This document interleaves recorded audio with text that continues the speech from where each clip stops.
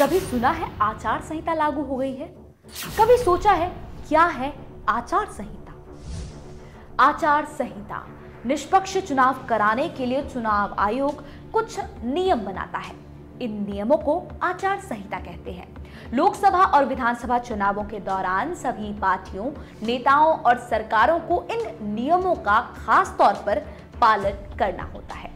आचार संहिता की शुरुआत सबसे पहले साल 1960 में केरल विधानसभा चुनाव में हुई थी, जिसमें इसके तहत बताया गया कि उम्मीदवार क्या कर सकता है और क्या नहीं। इसके बाद साल 1962 में हुए लोकसभा चुनाव में पहली बार चुनाव आयोग ने इस संहिता के बारे में सभी राजनीतिक पार्टियों को बताया।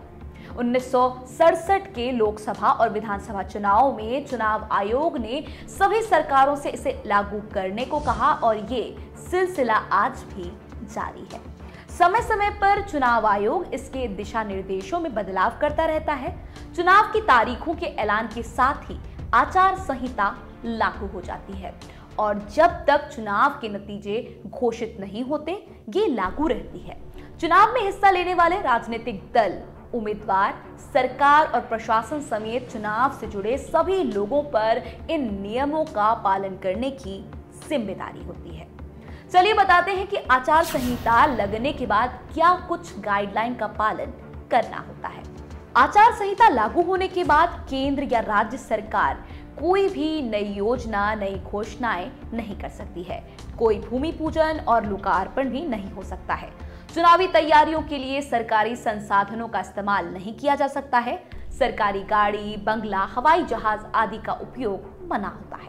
आचार संहिता लागू होते ही दीवारों पर लिखे गए सभी तरह के पार्टी संबंधित नारे और प्रचार सामग्री, जैसे होर्डिंग, बैनर और पोस्टर भी हटा दिए जाते हैं। साथ ही साथ राजनीतिक दलों को रैली, जुलूस या फिर मीटिंग के लिए परमिशन लेनी होती है।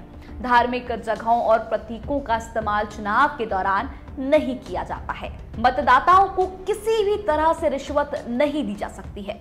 रिश्वत के बल पर वोट हासिल नहीं किया जा सकता है। किसी भी पार्टी या प्रत्याशी पर निजी हमले नहीं किए जा सकते हैं। मतदान केंद्रों पर वोटरों को लाने के लिए गाड़ी मुहैया नहीं करवाई जा सकती है। मतदान के दिन और इसके बाद 24 घंटे पहले किसी को शराब वितरित नहीं की जा सकती है।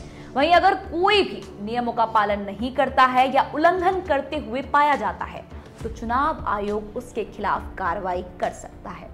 उम्मीदवार को चुनाव लड़ने से रोक सकता है या उसके विरुद्ध एफआईआर दर्ज हो सकती है।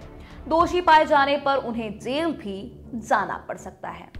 उम्मीद है आपको समझ आ गया होगा कि क्या कुछ है आचार संहिता।